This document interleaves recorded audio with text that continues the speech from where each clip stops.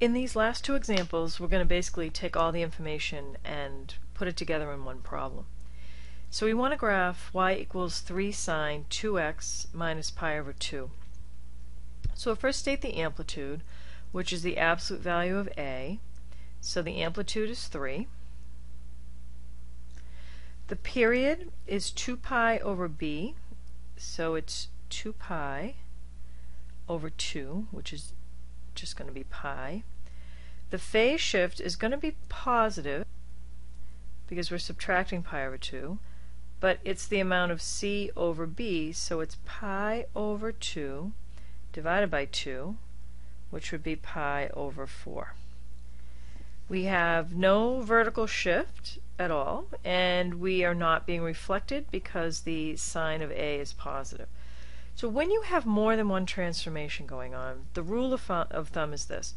To graph everything but the phase shift, or everything but any shift. So I'm going to first graph y equals 3 sine 2x. And so I know, uh, using the, the period of pi. So I'm going to mark off pi, 1, 2, 3, 4.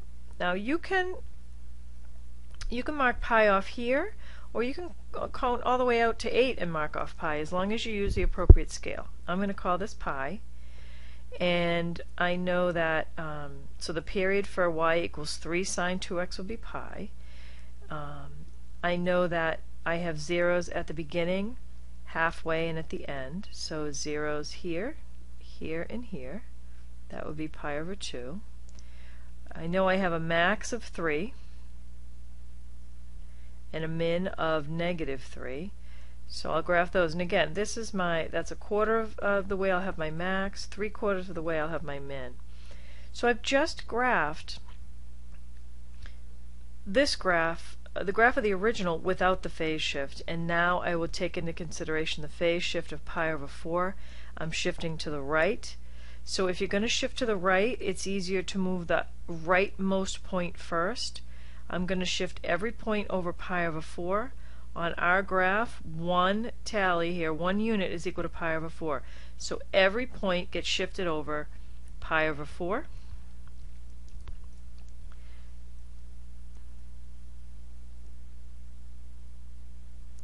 The pi over 2 gets shifted over one unit. The pi over 4, 3 gets shifted over one unit. And then the 0, 0 it shifted over one unit. And so here is my new graph. I have one cycle of y equals 3 sine 2x minus pi over 2. Uh, we graphed the original function without the shift, and the very last thing we did was shift every point over. Let's do the last um, problem. And one, um, on this one, we'll do the same exact thing. We'll graph y equals negative cosine 4x, um, and then we'll take cons into consideration the shift. So the amplitude of the original function is 1. The period is 2 pi over b, and b is 4. So we've got pi over 2 is our is our period. And then our phase shift is going to be um, negative because we're adding the pi. And it's going to be c over b. So c is equal to pi, b is equal to 4. So our phase shift is pi over 4. So I'm first going to graph y equals cosine 4x, remembering that I'm using a period, the period is pi over 2. Now, again, you can count, you can count out 8 and have pi over 2 or count out 4. 1, 2, 3, 4. I'm going to count out 4 and call this pi over 2, which means this is pi over 4. And then a quarter of the way is actually pi over 8. This would be 3 pi over 8. I'm going to graph the original function cosine of 4 uh, cosine 4x negative. So the amplitude is 1, but it's reflected. So for cosine, I used to have, so I'll call this uh, 1, and this down here would be negative 1. Cosine would have a max at the beginning and at the end, but um, since I am reflected, I'm going to have a min at the beginning and the end of the period. Uh, it used it would have had a min halfway of negative 1, but now it's going to have a max. Okay. Now these should be open circles because they're not my final graph. We have zeros a quarter of the way and three quarters of the way. And again, if you, you can either you know use a broken graph, you know, line, or you can just leave it blank. But I know that now I have to shift everything to the left pi over 4. Okay. And so again, if you're shifting to the left, it's easier to shift the leftmost point first. And in our graph, um, 2 units is equal to pi over 4, so every ordered pair is getting shifted to the left 2 units. So we'll do that.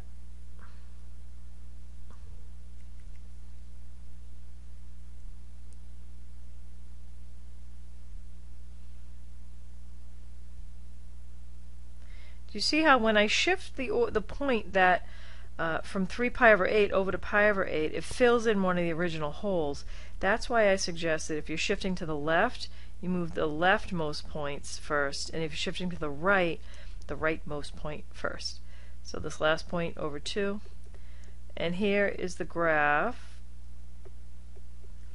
of negative cosine 4x plus pi. Uh, the period this value right here is actually negative pi over 4. And so from negative pi over 4 to positive pi over 4, that distance is actually pi over 2, which is the period. We completed one cycle um, over pi over 2 radians. I could continue the graph uh, by adding more values over to the right. Right now we'll just leave this as one cycle. And now it's your turn to go and practice. Um, and I've mentioned this before it's really important that you do the textbook exercises and I have um, you should use graph paper. I have uploaded some graph paper for you to use in this unit and um, it just makes it a little bit easier to graph these but you should not be relying solely on MyMathLab it doesn't have enough of this type of problem to do by hand